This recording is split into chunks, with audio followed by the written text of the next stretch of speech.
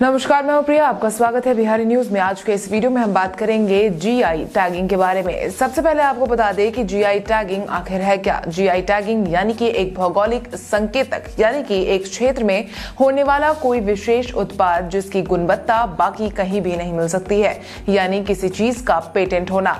एक ऐसा नाम या प्रतीक होता है जिसे कृषि, प्राकृतिक, मशीनरी और मिठाई आदि से संबोधित उत्पादों के लिए किसी क्षेत्र विशेष, जो कि देश, प्रदेश या टाउन से भी हो सकता है या फिर किसी व्यक्ति, व्यक्तियों के समूह या संगठन को दिया जाता है। इस जीआई टैग की मदद से कृषि, प्राकृतिक या निर्मित वस्तुओं की अच्छी गुणवत्ता को सुनिश्चित किया जा सकता है। निर्मित माल का उत्पादन या प्रसंस्करण या उस क्षेत्र में तैयार किया जाना चाहिए, जिसके लिए जीआई रजिस्ट्रेशन जारी किया गया है। आपको बता दें, यह tag tag World Trade Organization की तरफ़ से जारी किया जाता है।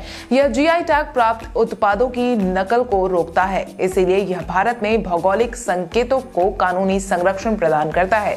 यह टैग अच्छी गुणवत्ता वाले उत्पादों को दिया जाता है ताकि ग्राहकों की संतुष्टि बढ़े। उत्पादों की अच्छी गुणवत्ता उत्पादकों के लिए अंतर्राष्ट्रीय बाज़ार के द्वार खोलती है। उत्पादकों के राजस्व में वृद्धि और उस क्षेत्र में रोज़गार सृजन होता है। इसके लिए भारत में एक संस्थान है, जिसका नाम Department of Industrial Policy and Promotion के अधीन Controller General of Patent Design and Treatment ही भौगोलिक संकेत पंजीकरण की मांग को लेकर लोग जाते हैं, जहाँ से जीआई टैग 10 साल के लिए दिया जाता है। आपको बता दें जीआई टैग मिलने से कोई भी उत्पाद अंतर्राष्ट्रीय बाज़ार में भी प्रचलित हो जाता है। आपकी जानकारी के लिए आपको ये भी बता दें कि भारत का पहला टैग दार्जिलिंग टी को दिया गया था। हाल ही में चंपारण के मीट को भी इस टैग से सुसज्जित करने की चर्चा शुरू हो गई है, जिसके बाद आने वाले दिनों में दुनिया दुनिया में अलग पहचान इसे मिलने वाली है, जिसके तहत बिहार की मधुबनी पेंटिंग मखाना के तर्ज पर चंपारण के मीट को भी अलग पहचान मिलने वाली है, जिसके तहत जल्द ही बिहार के चंपारण मीट की जीआई टैगिंग करवाई जाएगी, जिसके तहत बिहार पशु विश्वविद्यालय इसके प्रयास में जुट गया है। खबरों की माने तो पटना के कई रेस्टोरेंट मालिक, मीट दुकानदार, छात्र और शिक्षकों को मांस को बेहतर ढंग से काटने, स्वच्छता का ध्यान में रखते हुए और मांस निकालने के लिए स्वस्थ पशुओं के चयन पर प्रकाश डाला गया है। डीन डॉक्टर जे के प्रसाद और निदेशक अनुसंधान ने हाइजीन की जानकारी दी है। इसको लेकर उन्होंने जल्द ही आवेदन भेजने की बात भी कही है। आपको बता दें, जीआई टैग मिल जाने के बाद अधिकृत उपयोगकर्ता के अलावा कोई और क्षेत्र, कोई अन्य व्यक्ति, संगठन इसका उपयोग नहीं कर सकता है। हालाँकि आपको ये भी बता दें कि जो व्यक्ति या संगठन या क्षेत्र किसी उत्पाद के जीआई टैग के लिए आवेदन करता है और टैग को प्राप्त भी करता है, वही जीआई टैग का अधिकृत उपयोगकर्ता कहा जाता है।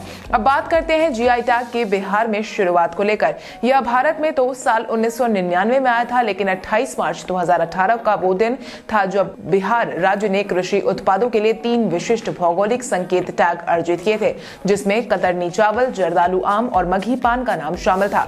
कतरनी चावल का टैग भौगोलिक संकेतक रजिस्ट्री चेन्नई द्वारा दिया गया था। मार्च 28 2018 को कतरनी चावल बिहार, भारत का सबसे प्रचलित औपचारिक और बेहतरीन गुणवत्ता वाला सुगंधित चावल है। कटामी शब्द का शाब्दिक अर्थ है, सिलाई के लिए अंत में एक हुक के साथ एक अव्यवस्था। आवल लकड़ी या चमड़े में छेद बनाने का एक नुकीला औज़ार है। कटामी नाम धान के शीर्ष के आकार के कारण उत्पन्न हुआ है, जो अवलोक के सिरे के समान है। यह अपने सुगंधित स्वाद स्वादिष्टा और चूरा बनाने के गुणों के लिए प्रसिद्ध है। कृषि विभाग द्वारा परिभाषित कतरनी चावल के उत्पादन का भौगोलिक क्षेत्र मुंगेर, बांका और दक्षिण भागलपुर के दक्षिण जलोड़ गंगा विमान से युक्त है। अब हम बात करेंगे जर्दालू आम की। 28 मार्च 2018 को बिहार राज्य को जर्दालू मैंगो के लिए भौगोलिक संकेत टैग दिया गया था।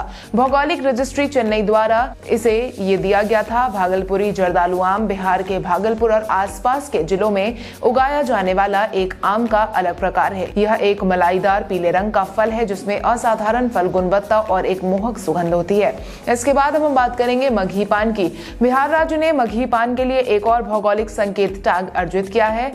जो कि मार्च 28 2018 को मघी पान बिहार मूल का एक प्रमुख खेती है, जो विशेष रूप से चार जिलों औरंगाबाद, गया, नवादा और नालंदा के मगध क्षेत्र में उगाया जाता है। इन क्षेत्रों में उगने वाले मघी पान उत्कृष्ट गुणवत्ता के हैं और यह सुपारी के बीच महँगा है। कृषि सामानों के अलावा बिहार राज्य ने हस्तशिल्प वस्तुओं के संबंध में भौगोलिक संकेत पंजीकरण भी अर्जित किए हैं, जिसमें बिहार का सिक्की ग्रास कार्य, मधुबनी पेंटिंग, पीपली, जो की बिहार का खवा पैच भी कहा जाता है। बिहार की सुजनी बुजनी कढ़ाई का काम, भागलपुर सिल्क, बिहार का काम, खटवा, बिहार का सिक्की ग्रास उत्पाद, बिहार का शाही लीची जैसे नाम शामिल है। हम उम्मीद करते हैं कि आने वाले समय में बिहार के और भी उत्पादों को जीआई टैग से सुसज्जित किया जाएगा। आपके अनुसार बिहार के किस उत्पाद को जीआई टैग दिए जाने की ज़रूरत है? अपने जवाब हमें कमेंट करके ज़रूर बताएँ। इसके साथ ही आज के लिए बस इतना ही। धन्यवाद।